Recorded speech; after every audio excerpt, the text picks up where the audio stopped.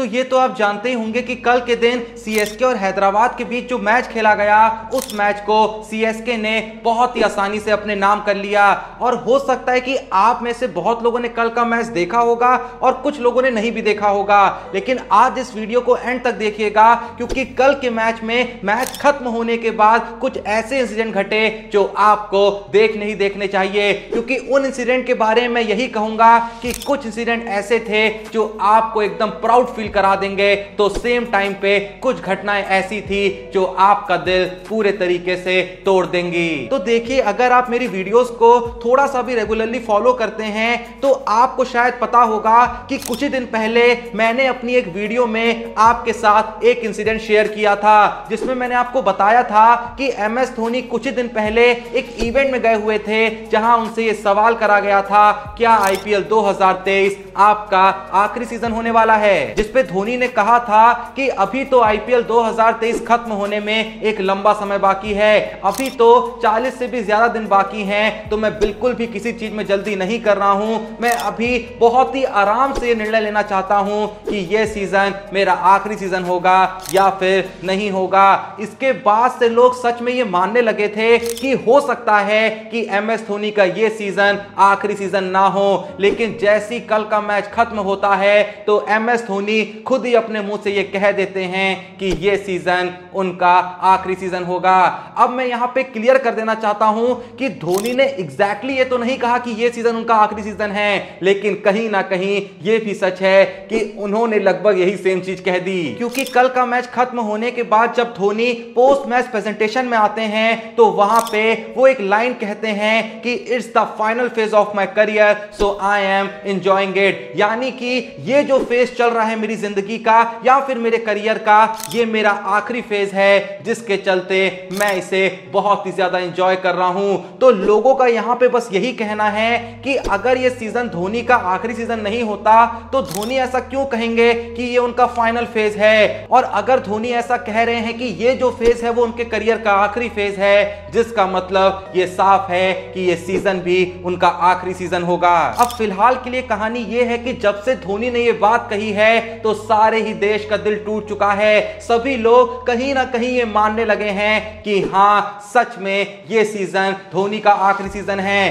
क्योंकि आईपीएल से पहले जब कोई भी ऑफिशियल अनाउंसमेंट नहीं आई थी कि ये धोनी का आखिरी सीज़न होगा या फिर नहीं होगा तो लोग कहीं ना कहीं तसल्ली में जी रहे थे कि ऐसा भी हो सकता है ये सीज़न धोनी का आखिरी सीज़न ना हो। लेकिन फाइनली कल के दिन ऐसा लग रहा है कि धोनी ने अपने आखिरी सीज़न पे मोहर लगा दी है। खैर, इस घटना से आगे बढ़े तो कल के ही मैच में उसी पोस्ट मैच प्रेजेंटेशन में धोनी एक और कमाल की बात कहते हैं। अब अगर आपने कल का मैच लाइव देखा होगा तो आपको पता होगा कि कल के ही मैच में एम एस धोनी ने एक बहुत ही शानदार कैच पकड़ा था, जो कि catch one of the most difficult catches में से एक था, खासकर जब स्पिनर बॉलिंग करा रहा हो और विकेट कीपर स्टंप्स के बहुत करीब लगा हो। ये कैच असल में धोनी ने हैदराबाद के ही कप्तान मरकरम का पकड़ा था, पर यहाँ पे मैं आपको यह बताना चाहूँगा कि जैसा आपको पता ही होगा कि आईपीएल के हर मैच में बहुत सारे अवार्ड्स दिए जाते हैं और इन्हीं अवार्ड्स में से एक अवार्ड ये भी होता है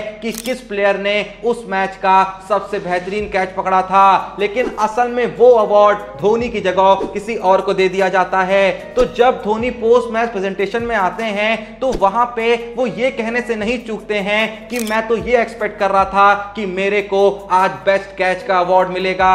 अब यहाँ पे धोनी जो ये बात कह रहे होते हैं, वो थोड़ा सा मज़ाक में कह रहे होते हैं, लेकिन ऐसा प्रतीत हो रहा होता है कि धोनी ने भी सच में एक्सपेक्ट करा था कि उनको ये अवार्ड आज मिलने वाला है। धोनी इसी के साथ ये भी कहते हैं कि वो जो कैच मैंने पकड़ा था, ऐसे कैचेस को पकड़ने के लिए सही टाइम पे या फिर सही मौके पे मौजूद होना ज़रूरी नहीं होता है, बल्कि अगर आपको ऐसे कैचेस को पकड़ना है तो आपको गलत मौके पे, गलत टाइम पे मौजूद होना होता है, और उस वक्त पे जो मेरा हाथ था, वो एक गलत टाइम में, गलत मौके पे अवेलेबल था और यही रीजन है कि गलत समय पे, गलत जगह पे हाथ होने की वजह से मुझको एक सही कैच मिल गया। लेकिन अभी अभी जो मैंने आपको इंसिडेंट बताए, वो तो असल में कुछ भी नहीं थे। असल मज़ा तो लोगों को तब मिला जब उन्होंने मैच के खत्म होने के बाद कुछ ऐसा देखा जिसे देख के सच में लोग ये कहने पे मजबूर हो गए कि धोनी जैसा कोई और हो ही नहीं सकता। मैं जानता हूँ कि आप में से बहुत लोगों ने वो मोमेंट मिस मिस कर दिया होगा तो चिंता मत करिए, मैं आपको वो दिखाता भी हूँ और सेम टाइम पे वहाँ पे जो भी हो रहा था, वो मैं आपको सुनाता भी हूँ। पर वो देखने से पहले जैसा कि आप जानते हैं कि आज के दिन होने दो बहुत ही बड़े महामुकाबले, पहला मैच होना है गुजरात लखनऊ का और दूसरा होना है मुंबई पंजाब का। लेकिन अपने को क्या भैया, अपना तो फ़ायदा ही है ना दो दो बार मौका मिलने वाला है पैसा कमाने का, क्योंकि अपने को तो ट्रेगो पे जाके बस यस या नो करना है और अंधा पैसा छापना है। क्योंकि क्वेश्चन ही इतने इजी हैं, अब पहले मैच का क्वेश्चन क्या है? क्या जो गुजरात है वो लखनऊ से जीतेगी? बस यस या नो करना है। दूसरा क्वेश्चन क्या है इसी मैच का? क्या जो केएल राहुल है, वो थर्टी प्लस का स्कोर करेंगे? और वही बात आती है जब दूसरे मैच की तो पहला क्वेश्चन क्या है? क्या जो मुंबई है वो पंजाब से जीतेगी? दूसरा क्वेश्चन क्या है? क्या जो रोहित शर्मा है, वो थर्टी प्लस का स्कोर करेंगे? तो देखो इन चारों ही क्वेश्चन में से, मैं जिसे क्वेश्चन में पूरे तरीके से श्योर हूँ, वो ये है कि के राहुल थर्टी प्लस का स्कोर करेंगे। भले ही धीमे करें, लेकिन जितना वो सेफ़ खेलते हैं, अपना तो फ़ायदा ही है ना, जैसी थर्टी प्लस का स्कोर करेंगे हमने तो यस कर रखा है तो पैसा ही पैसा होगा ना।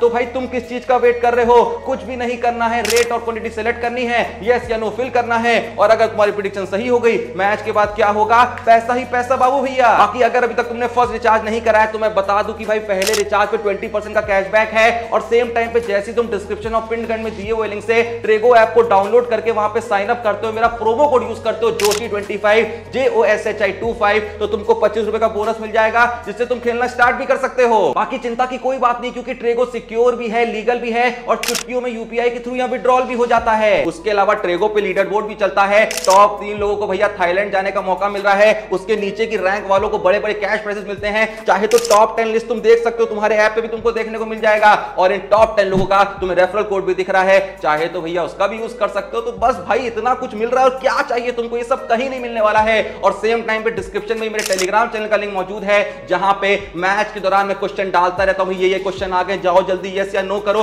सब कुछ मैं तुमको अपडेटेड रखता हूँ, क्योंकि भाई अगर हम पैसा बना रहे हैं तो तुमको बना के देना भैया, हमारा ही तो फ़र्ज़ है ना। तो अभी जाओ डिस्क्रिप्शन प्रिंट करने दिए हुए लिंक से ट्रेगो ऐप को डाउनलोड करो टेलीग्राम चैनल को ज्वाइन करो, और खूब सारा पैसा कमाओ। तो वापस चले अपनी स्टोरी पे, जैसा मैं कह रहा था कि कल का मैच खत्म होने के बाद कुछ ऐसा होता है कि वापस से पूरा ही देश ये कहने पे मजबूर हो जाता है कि भले कितने बड़े बड़े क्रिकेटर हैं इस दुनिया में, लेकिन धोनी जैसा दूजा कोई हो ही नहीं सकता। क्योंकि जैसा कि आप जानते हैं कि कल का मैच खेला गया था चेन्नई और हैदराबाद के बीच। लेकिन जैसे ही चेन्नई इस मैच को जीतती है और मैच खत्म होने के बाद महेंद्र सिंह धोनी जैसे ड्रेसिंग रूम से मैदान की तरफ़ आ रहे होते हैं तो जितने भी एसआरएच के यंगस्टर्स होते हैं या फिर जितने भी एसआरएच के प्लेयर्स होते हैं, वो चारों तरफ़ से धोनी को घेर लेते हैं। ऐसा लग रहा होता है, मानो धोनी उन लोगों को कोई ट्यूशन दे रहे हो। और ऐसा नहीं था कि वहाँ पे सिर्फ़ 19-20 साल के लड़के थे या 23-24 साल के लड़के थे,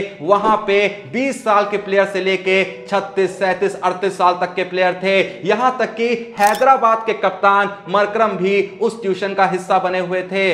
और इसमें कोई चौंकने वाली बात नहीं है, क्योंकि खुद जब एम एस धोनी बोल रहे हो तो कौन ही इन बातों को मिस करना चाहेगा? लेकिन इन्हीं तस्वीरों में सबसे कमाल की चीज़ यह देखने को मिलती है कि जहाँ सारे ही प्लेयर्स धोनी को सुन रहे होते हैं तो इन सभी प्लेयरों के बीच एक उमरान मलिक खड़े होते हैं, जो बहुत ही ज़्यादा, या फिर कहूँ, जो ज़रूरत से ज़्यादा एकाग्रता के साथ धोनी की बातों को सुन रहे होते हैं, वो इस तरीके से धोनी पे गौर कर रहे होते हैं, या फिर कहूँ, उनकी बातों पे गौर कर रहे होते हैं, मानो उमरान मलिक को कोई होश और खबर ही नहीं है कि उनके आसपास क्या हो रहा है, वो बस ये चाह रहे हैं कि धोनी बस बोलते जाएँ और वो बस सुनते जाएँ। इवन धोनी की एक क्लास खत्म होने के बाद, जब उमरान मलिक से ये पूछा जाता है कि आप इतना ज़्यादा फोकस होके धोनी को क्यों सुन रहे थे? और क्या आप धोनी को सुन भी रहे थे या बस उनको देख ही रहे थे? तो उमरान मलिक बताते हैं कि ये कोई जानता ही नहीं है कि धोनी और मेरा नाता